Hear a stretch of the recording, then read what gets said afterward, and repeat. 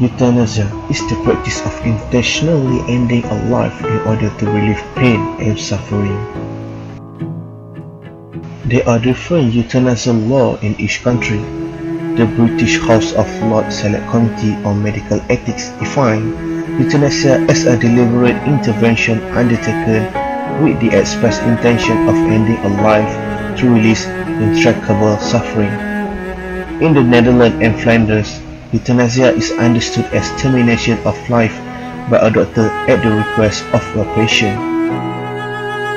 Euthanasia is categorized in different ways, which include voluntary, non-voluntary, or involuntary. Voluntary euthanasia is legal in some countries.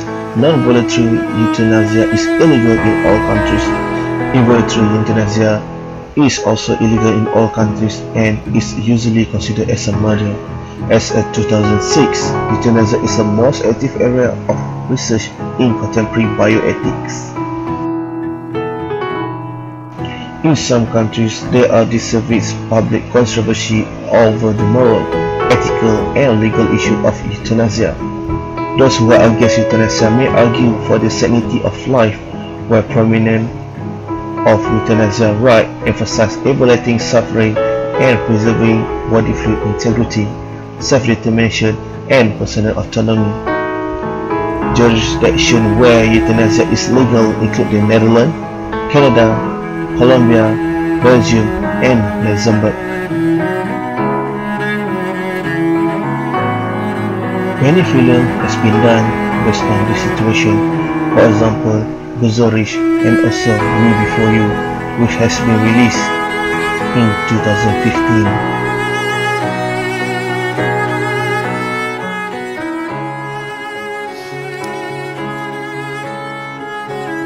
As you can see, this is the scene from a film A Million Dollar Baby, which it shows how the assisted suicide has been done.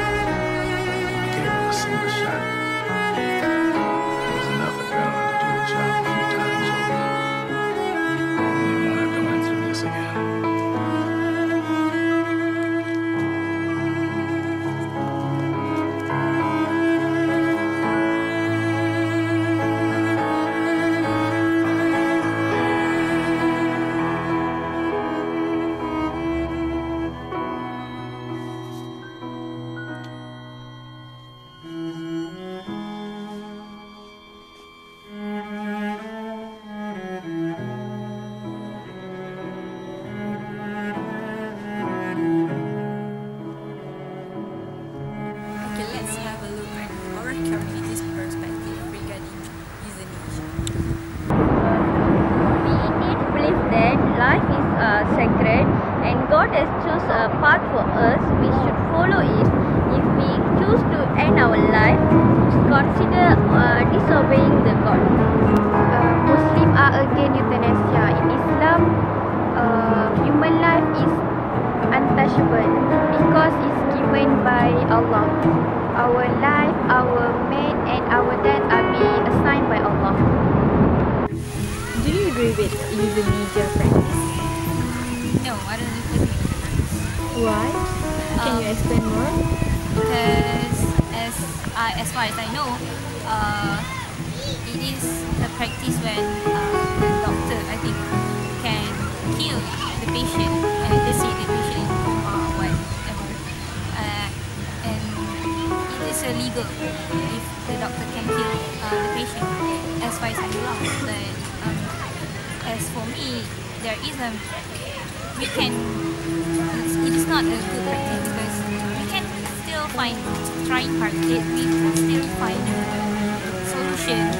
Um, trying hard to find solution before you, decide to heal the patient. It's not that. It's, I think it's not fair for the patient. Yeah, of course. So, it, so um, we have a note about the out of the 186 countries in the world, only nine countries have legalized euthanasia or assisted death. Yes, I do.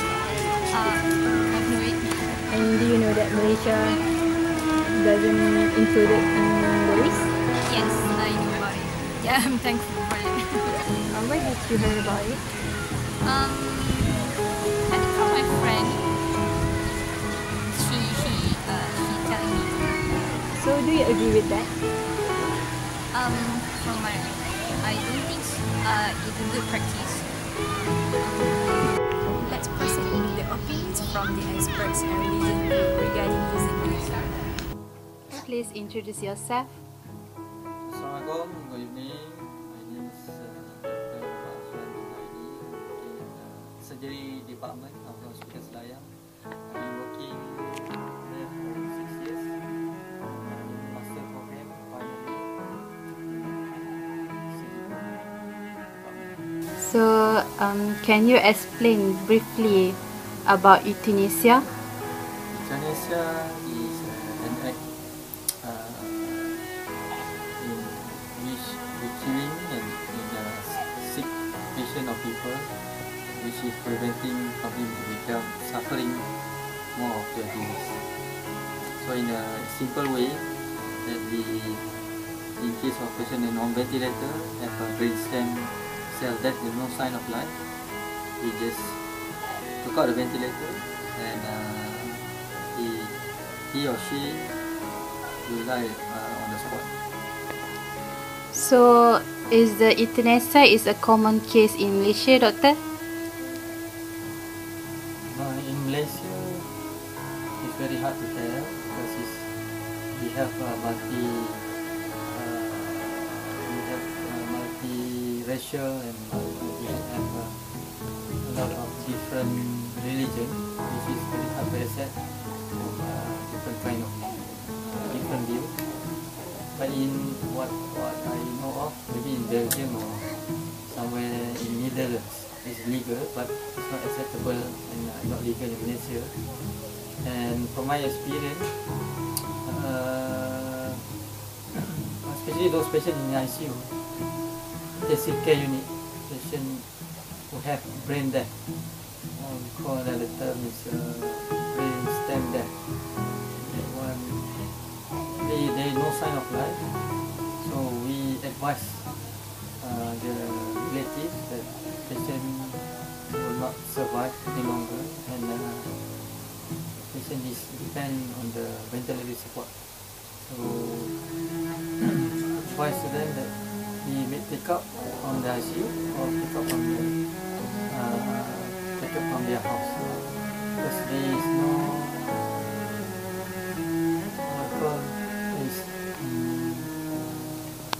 mm, is no use for because patient already died there's no sign of life from our experience so later we advise the relative we pick up and uh, slowly let the patient go to prevent more suffering. In Islam also we know patient already died and I mean if we uh,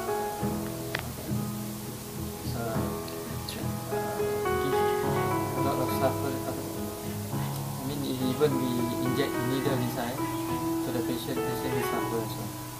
So it's still debatable in Malaysia. It's very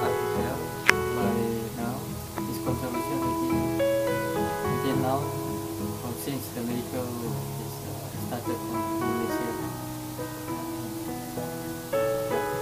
So, doctor, uh, what is a difference between euthanasia and assisted suicide, from your opinion?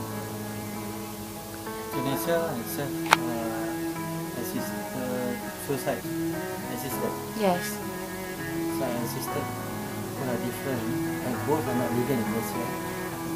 Euthanasia means you're taking taking out uh, patient's life that will done to be done by doctor. But if uh, suicide assisted is uh, is done by the patient itself.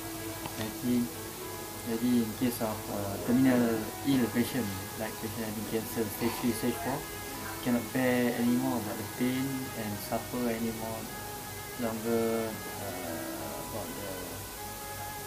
patient's uh, his soul, he cannot bear anymore.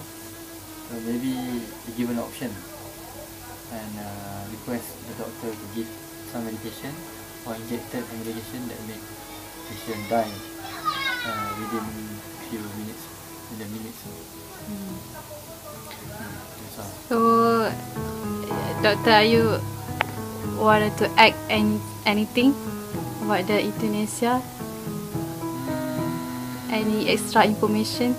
Sometimes, in case of patient, we we felt that patient will not uh, survive any longer.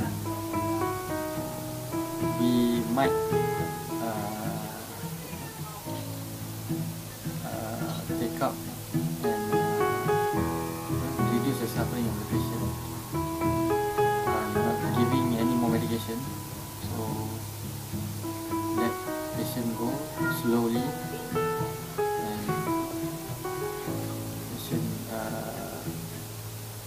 also we die without uh, attention and uh, because patient other patient who have uh, needed the ventilator or ICU bed is needed more uh, ensure his life so better we help by taking slowly by for the patient.